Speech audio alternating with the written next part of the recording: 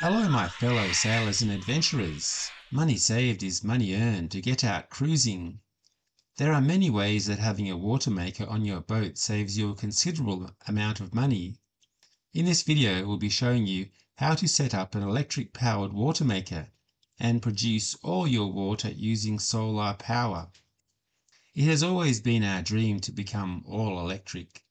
So after 26 years of running a water maker, we have finally found this holy grail and would like to share with you the hard-won lessons we have learnt. Having a water maker saves us money in so many ways. Instead of having to head to a marina to refuel and take on water, we're heading out to the islands, putting our rudder to the town and going out there to make water there instead. There came a point where our engine-driven water maker was costing us $4 Australian to produce just 60 litres of water. Now I became very financially motivated and took the plunge in my efforts to electrify our system.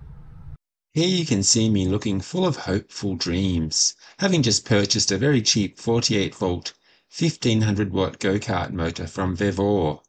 This positivity was to be short-lived though, as this motor failed miserably to run the high pressure pump. Only slightly deterred, I pressed on.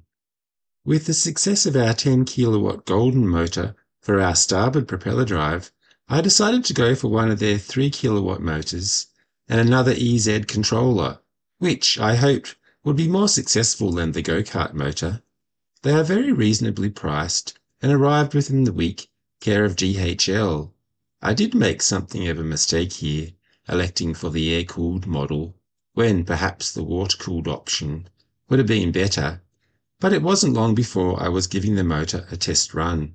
Alright, so very excited here uh, for the test, first test run of the Golden motor, 3 kilowatt motor, which I'm going to be using to run my water maker pump and make make water. So there it is. So straight away it's connected up to the, the app and here we go. We shall give it a run here. It's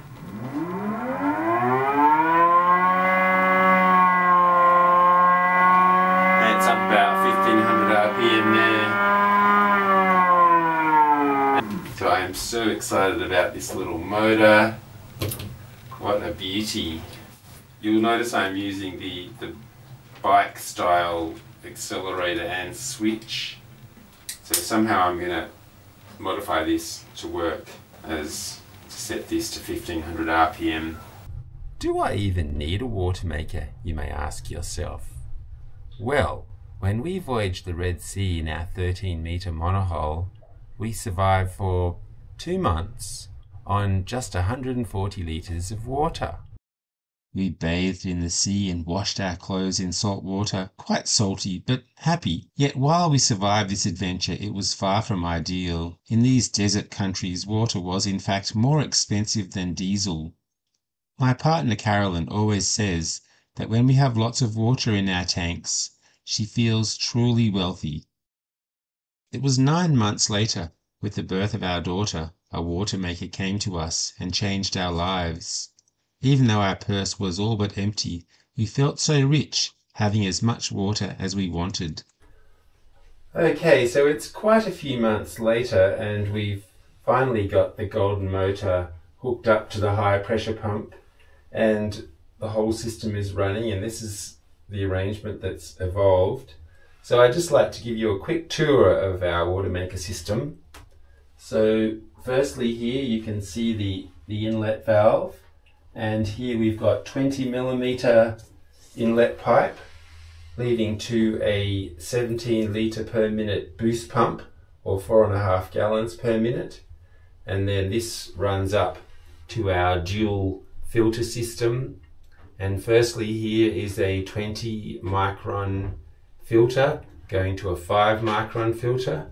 And then this filtered water runs to the boost pump which is a CAT 277 model, very popular high pressure pump. And there's a belt here that runs the high pressure pump from this 3 kilowatt golden motor And here you can see the controller for the Golden motor and it has a computer fan there to cool it and you can also see a computer fan here cooling this Golden motor.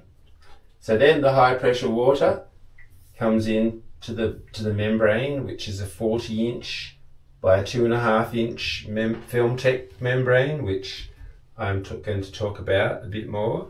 And then here is the product water coming out here and the discharge water there.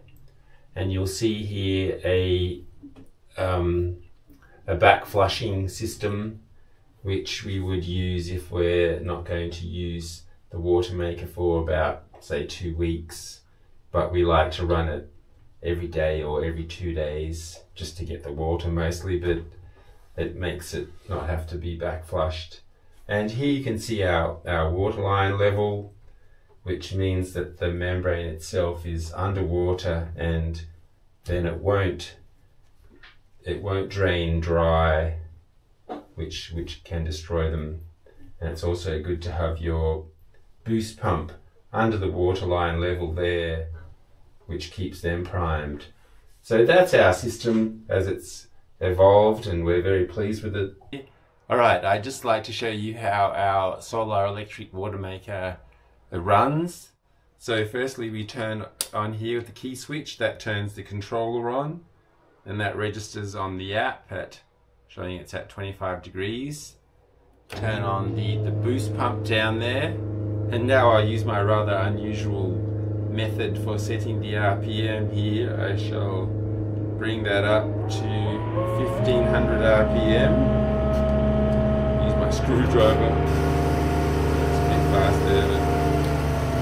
Bring that down. Right, they're at 1500. Now we just bring up the pressure gradually, about 100 psi at a time Bring that up to 850 psi. And simple as that, we got water coming.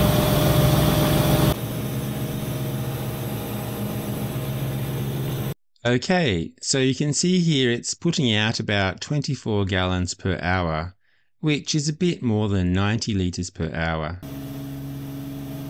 So here we can see the all important parts per million reading, just about 110, which is a pretty good reading for a water maker.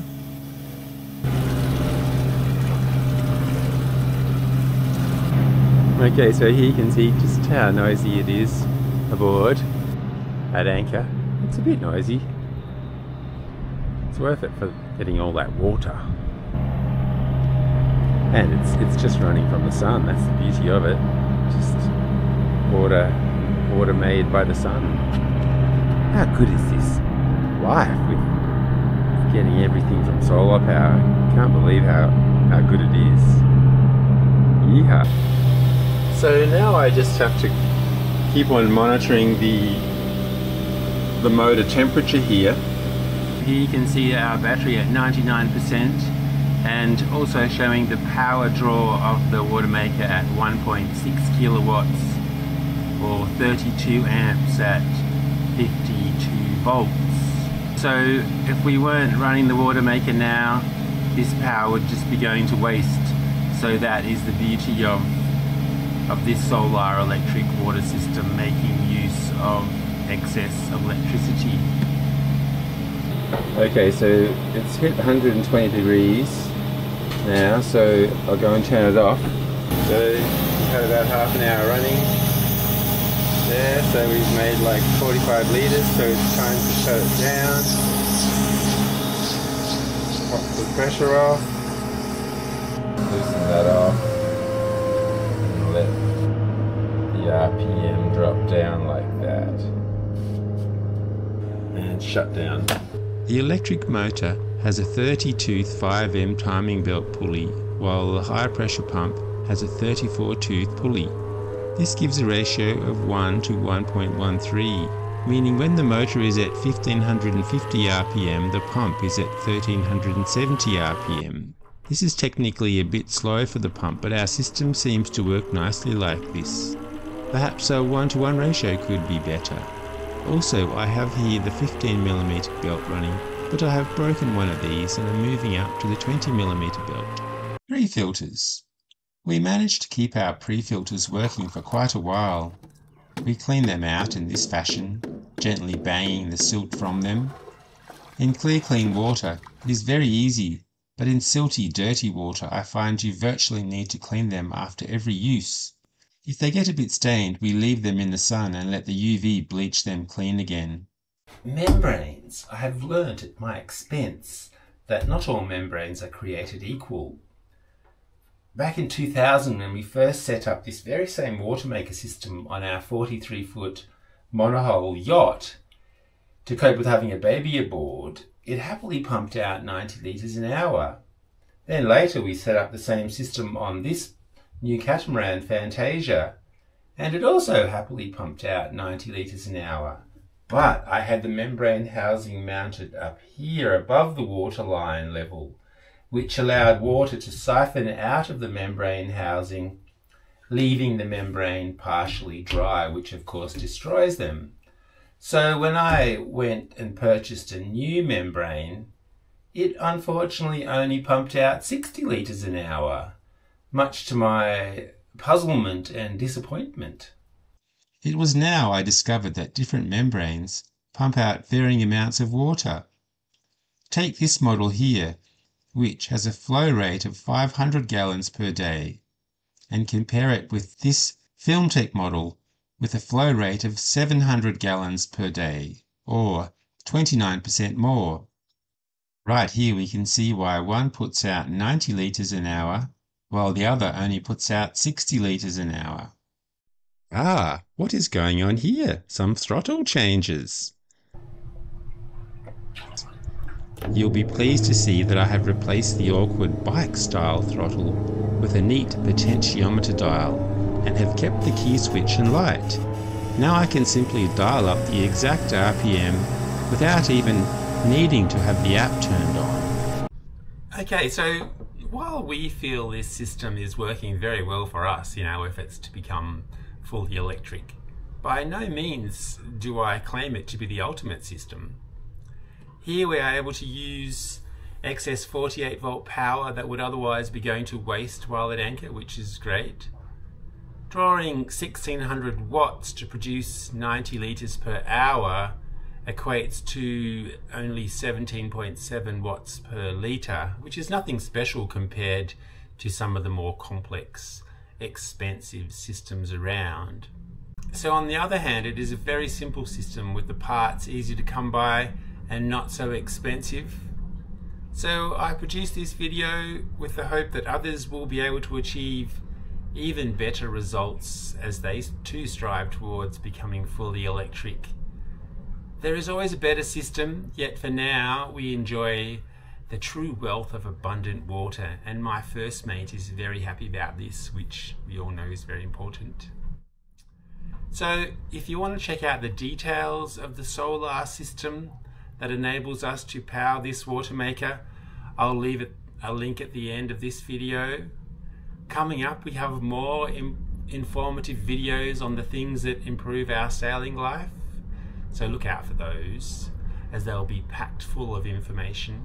Until then, don't hold back, charge headfirst into your pursuits.